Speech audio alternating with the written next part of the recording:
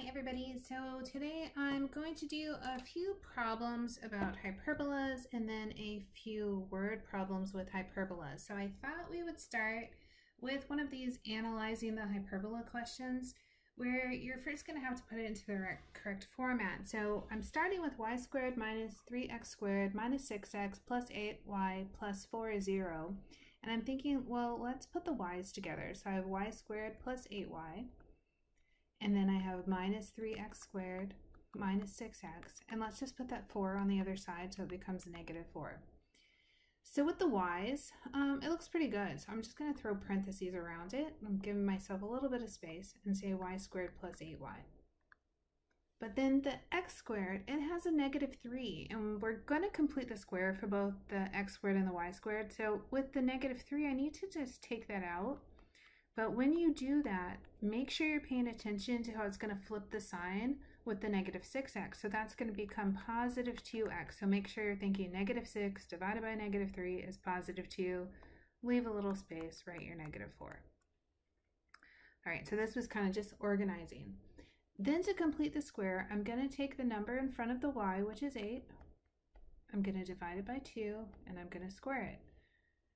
Same thing with the x. I take the number in front of the x, which is 2, I divide it by 2, and then I square it.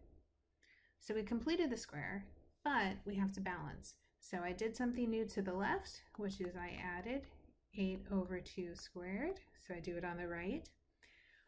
Then with the 2 over 2, don't forget that negative 3 in front. So I want to write minus 3 times 2 over 2 squared. So don't forget the coefficients when you're balancing it out the y plus the y squared plus 8y plus 8 over 2 squared becomes y plus 4 squared minus, there's a 3. x squared plus 2x plus 2 over 2 becomes x plus 1 squared equals, I had a negative 4, 8 over 2 is 4, 4 squared is 16, minus 3, 2 over 2 is 1, so put a 1 there if you want. Right, so I have negative 4 plus 16 minus 3. When you put that together, that just gives me 9. So I have this y plus 4 squared minus 3 times x plus 1 squared equals 9. So let's just divide everything by 9. So here, now I have y plus 4 squared over 9 minus, cancel the 3 with the 9, make that a 3. So I have x plus 1 squared over 3, and that is equal to 1. So this is really my starting place. This starting place, let's just go ahead and put this on a new page um, so that we have plenty of room to write what we want to do. So to start off, we should say the center is going to be negative 1, negative 4. A is going to be 3. That comes from this 9. I take the square root of 9. That's A. B is going to be the square root of 3. So square root of 3 is B. And then C, I add together the 9 plus 3 and I take the square root. So 9 plus 3 is 12. Square root of 12, well remember I can make this square root of 4 times 3. So this is 2 square root of 3. Okay, so this is C. Then I have to think about, all right, what is happening? So let's kind of start sketching while we talk out what all the points are going to be. Let's start with our negative 1, negative 4. So there's our center. Y is first. So because Y is first, we are going to go up and down by A, which is 3. So my vertices, I'm going to go up 3. So I have negative 1, negative 4, plus 3. This is negative 1, negative 1. And then I have negative 1, negative 4, minus 3. So this is negative 1, negative 7. So I'm down here. Then the foci, um, same kind of ideas there. I have the negative 1, negative 4, I want to add to square root of 3. And then I have negative 1 with negative 4 minus 2 square root of 3. So I'm going from the center up and down A, and then from the center up and down by C. It may help if you put that in your calculator just to have an idea of what that looks like. So the square root of 12 is about 3.46. So if you're kind of comparing to A was 3, C is just a little bit bigger, like not even half bigger. So it's going to be pretty close when you put those two points on. So let me kind of label them a little so you can see them. So center, vertices, and then the two F's. So um, to be able to draw, I still go back and I grab this square root of 3, which is about 1.7. And I'm going to go that on the right and on the left. So from negative 1, and I'm going to go to the right 1.7, so 1 and a little bit. And then 1.7, so let's say 1 and a little bit. I'm going to make that box from there. And then you're going to put in the asymptotes, go through the center, then I want to draw. So I draw from the vertex. I go up and I also go down. Right, so now the last things I need to put on there would be the asymptotes. So I have y plus 4 is equal to plus or minus. I look at how much did I go up. Well, the up came from under the y, which we said was 3. So we went up and down 3. And then how much did I go over? That's under x, which is the square root of 3. And that's x plus 1. We do have this problem with 3 over the square root of 3. Um, hopefully you know by now we've done this so much this semester, but I'll do it the long way. If I multiply by the square root of 3 over the square root of 3, this gives me 3 square root of 3 over 3. The 3's cancel. I get square root of 3.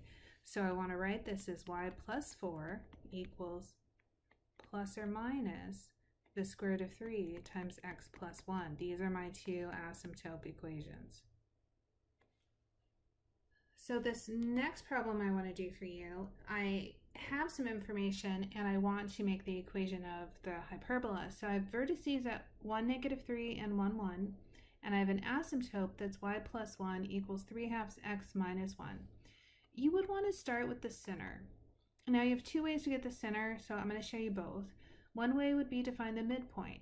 So you would say 1 plus 1 over 2 with negative 3 plus 1 over 2. So I'm taking the midpoint of the vertices. 1 plus 1 is 2, 2 over 2 is 1. Negative 3 plus 1 is negative 2, negative 2 over 2 is negative 1. What does this say? It says I have the x is minus 1, the y is plus 1. So I have, um, like somehow I'm thinking x minus 1 and I'm thinking y plus 1. That's a y. But do you see how that was kind of already in the equation too? So I could have grabbed the center here to see negative 1, positive 1, or I can do it from the midpoint. So two ways to get that. So we have the center. This is my center 1, negative 1. So there's my first piece of information. Then I kind of want to look at the graph a little to say 1, negative 3, and then 1, 1. That's up and down and the center is here in the middle of that. So I know y is coming first. So this looks like y plus 1 squared over a squared, which we'll get, minus x minus 1 squared. I got to figure out what b is. That'll be 1. Since I know this point as 1, negative 1, and I know these points, let's call this one 1, positive 1, the distance is 2. Same thing if I say 1, negative 3. The distance is 2. So 2 is a. So here I'm going to put 2 squared under the y plus 1. I don't know b, so I need to figure that out. But what I grab is this 3 halves from the slope that I have on my asymptotes. So the slope is 3 over 2, looks like rise over run. Okay, when I look at that, this 2 looks like rise. So when I look at this 3 halves, it looks like 2 over, I don't know this number, let's call it b, right? Because this is a squared, this is b squared, so we'll write it that way. So I'm going to cross multiply. I have 3b is 4, so b is 4 over 3. So don't just assume that the 3 over 2 is a over b. We don't know that. We have to kind of do some stuff. So now I have y plus 1 squared over 4 minus x minus 1 squared over, this is 4 over 3 squared equals 1. Now we can do this a couple of ways. So one way would be y plus 1 squared over 4 minus x minus 1 squared. This is 16 over 9. Let me keep that in parentheses though. I'm dividing by a fraction, which makes me want to flip it. So that makes me want to say, here's my final answer, y plus 1 squared over 4. When I flip it, the 9 comes up top, the 16 goes on the bottom. I have x minus 1 squared. This is equal to 1. So this is like the final, like how I can make it look nice. Right, let's talk about some word problems. So this says some nuclear power plants utilize natural draft cooling towers in the shape of a hyperboloid, which is a solid obtained by rotating a hyperbola about its conjugate axis. Suppose such a cooling tower has a base diameter of 400 feet and the diameter at its narrowest point 360 feet above the ground is 200 feet. If the diameter at the top of the tower is 300 feet, how tall is the tower? All right, so I'm going to do my best attempt at drawing this. So hyperbola look kind of like this. So what do we find out? We found out that the base, the base diameter is 400 feet. So the diameter is from one side to the other. This is 400.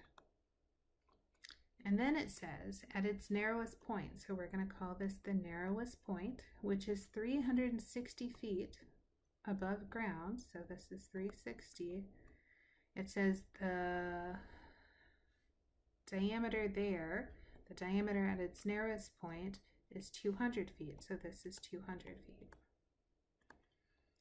And what we're looking for is how tall is it all together is it at the top if it's 300 feet.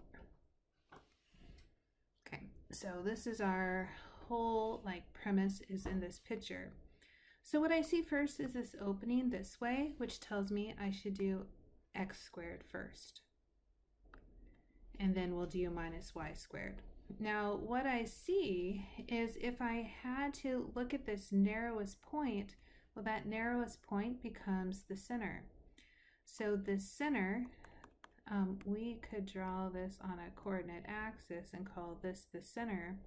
But notice this is 360 and I split the 200 in half. It'll be 100 on the right, 100 on the left. So this is 100, this is 100. So this 360, which is 0, 360, this becomes the center. So it's x squared minus y minus 360 squared we have to figure out a and b is equal to 1. Well, a is the easy part because I have this 100 here.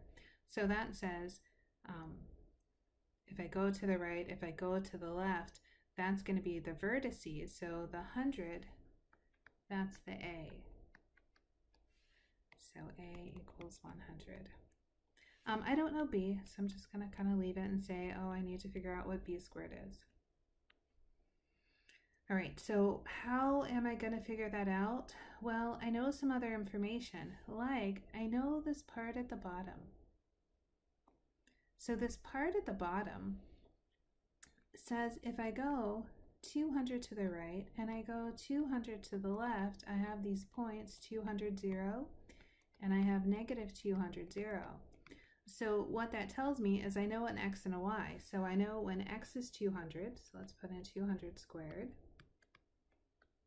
over 100 squared, that the y is going to be 0. So I have 0 minus 360 squared over b squared equals 1.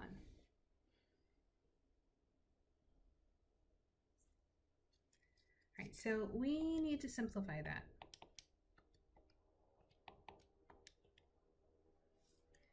This 200 squared over the 100 squared just turns out to be like you could cancel the zeros. I get 2 over 1 squared, which is 4.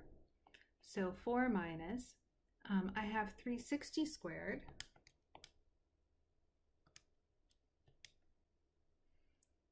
which is 129,600 over b squared equals 1. So here this negative, it's squared, so we don't have negative negative. This is still subtracting. I want to move this 4 over to the right side, which means I'm subtracting. So I have negative 129,600 over b squared is 1 minus 4, negative 3. Both sides are negative, so I'm going to make them positive. I'm going to bring this b squared up. So I have 1, 2, 9, 6, 0, 0 equals 3b squared. Let's divide by 3. Cancel, cancel. So now I'm going to take the square root.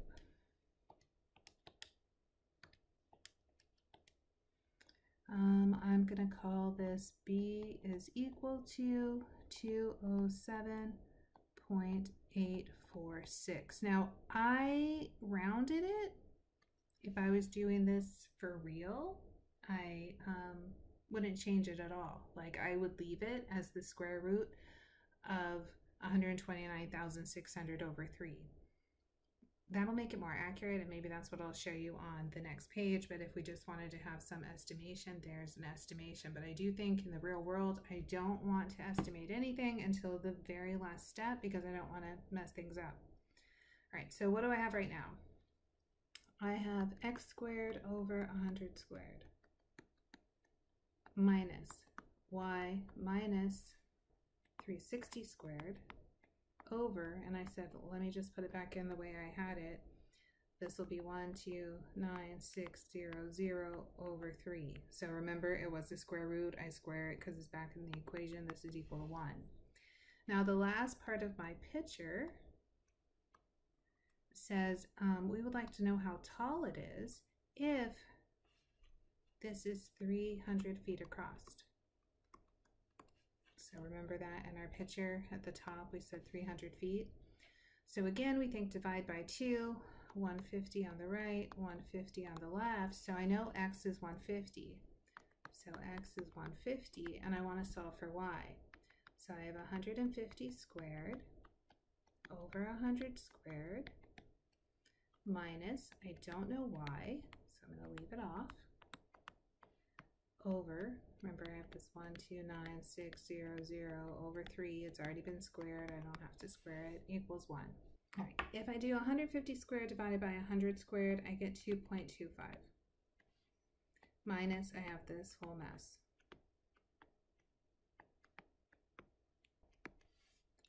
So I'm going to bring this 2.25 over to the other side. So now I have negative y minus 360 squared over this 129,600 over 3 equals negative 1.25. Again, negative left, negative right, let's make those positive. Let's get rid of this fraction, so I'm just going to multiply both sides by that same fraction.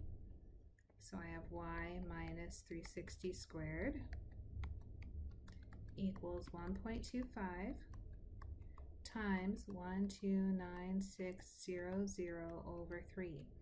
I did not flip it because I wasn't trying to just bring it up. I'm trying to get rid of it. So I multiplied both sides by the same thing, which was this 129600 over 3, 129600 over 3.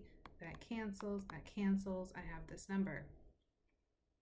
All right, this is squared. I want to take the square root. I want to take the square root. I know this is a messy number. I'm okay with it. I want to keep it as exact as possible, so I'm waiting till the last step to use my calculator. Okay, so the last step is now add 360. So I have the square root of 1.25 times 129,600 over 3, and then plus outside of the um, square root plus 360.